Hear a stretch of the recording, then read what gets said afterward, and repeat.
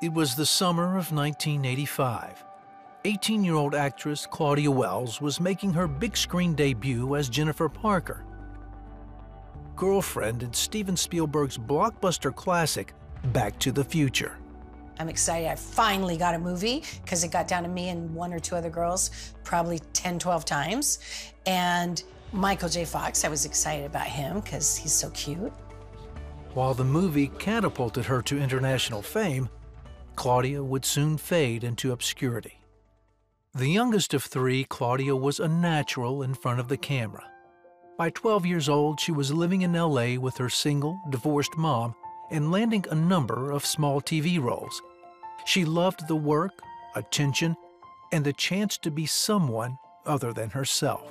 My fun and joy was when the camera was on and I got to be a person and act. Because every single role I played, I got to take a part of me and express it. That's because at home, her alcoholic mother made sure her daughter knew the real Claudia was someone to be despised. I thought everyone grew up hearing, I regret the day you were ever born. I really thought that was a normal thing. I was either the greatest or I was worse than my father, worse than her mother. I don't know. She was, she was, it, it, it, I didn't know who I was because I was told so many different things. Her mother burned through Claudia's money as she controlled every aspect of her daughter's life. That included her weight. I used to have to stand in front of my mom's bed and turn while she sat there and told me I was too fat.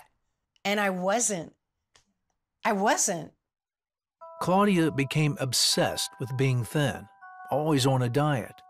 Then, at 14, she was found in her bedroom unconscious after trying to overdose on her mother's prescription pills. That was my intention. Completely. It was not a cry for help. It was a, I'm done. I don't deserve to be here anyway. I'm too fat. By the time 1982 rolled around two years later, little had changed for the budding star. Only now she was bulimic, taking up to 60 laxatives a day. It was then she was cast in the TV series Herbie the Love Bug, starring Dean Jones. Claudia became friends with the late actor and his wife, Lori. He talked to me about the hole that was inside of me and if I don't fill it with God, and if I don't fill it with Jesus Christ, it'll get filled with men and drugs and problems. So I said the sinner's prayer with Dean at lunch one day, and I became saved. Not really understanding anything that that meant, but God heard me. So Claudia continued to believe the voices in her head, telling her she was a mistake.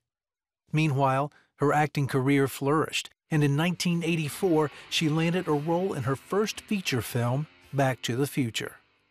I was terrified because I got a movie, and in my brain, I was thinking, oh no, my legs are going to be so big. It's not just TV. I wonder if I'm skinny enough. The movie's success made Claudia an instant star. Then, after the movie's released in 1985, her mom was diagnosed with cancer. After working in television two more years, Claudia called it quits, saying she needed to take care of her mother. I took care of her the best that I could. I was not in a place emotionally to do anything that had anything to do with acting. I was also angry, and I stopped acting because it was so important to my mom.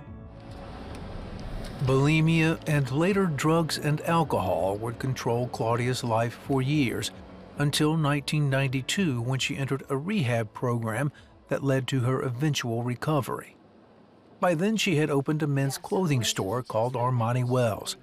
And even though she was moving forward in life, going to church, running a successful business, Claudia couldn't move past the pain of her childhood. I built brick walls in front of me physically in my brain. I built them, and her yelling got softer and softer and softer. Then in 2008, she took a step closer to healing and God when her mother lost her battle with cancer. Claudia finally saw her as she was a woman like herself who was broken. And I said, God, I'm really sorry. I'm sorry for the horrible things I said about her. I'm sorry for hurting her on purpose by destroying myself to the best of my ability. Please, will you forgive me? Then, a few years later, the voices of self condemnation and guilt would finally be silenced. Then it occurred to me wait a minute, why am I being so horrible to myself?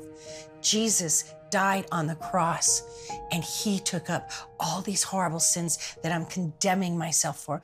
And I said, I am not a mistake. I am not a mistake. And I was sobbing. I didn't even know that I thought it was a mistake. I just knew that she regretted the day I was born. And then I went up to the guy, the preacher, and I said, I'm not a mistake. And he hugged me and I, I said, I'm not a mistake. Yeah, it's actually. Today, Claudia is still running her clothing store and has made several appearances on television. She even takes time to sign an autograph or two. God has given me such a level of peace, and it's from Him. And I can prove, I am walking, talking proof that God is real, that Jesus Christ exists. Every blessing comes from Him.